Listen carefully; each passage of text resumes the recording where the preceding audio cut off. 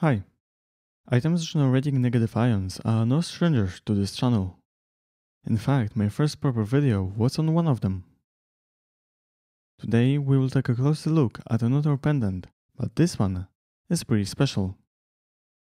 Unlike my old pendant, this one is made out of green glass, which also glows under black light. And it is radioactive. My first assumption was that it must be uranium glass. Uranium glass, also known as Vaseline glass, was produced mainly during the age of atomic madness. However, because of the nuclear weapons, people got scared of radiation, and as a result, they stopped buying products containing uranium.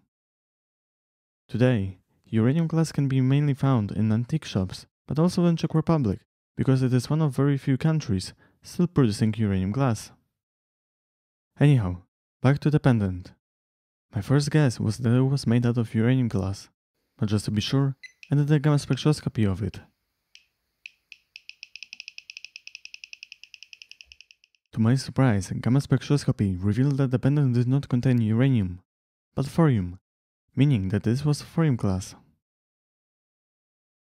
When compared to uranium glass, thorium glass looks a little bit darker and it doesn't glow so brightly under black light.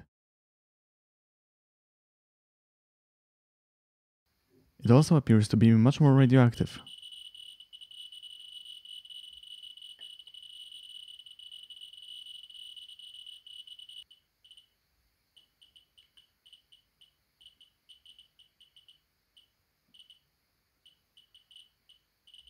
After making my first video on the negative ion pendant, many people pointed out to me that the authenticity card is also radioactive.